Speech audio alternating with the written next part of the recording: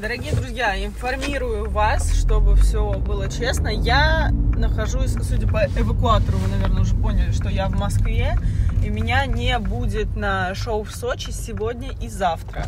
Имейте это в виду, пожалуйста.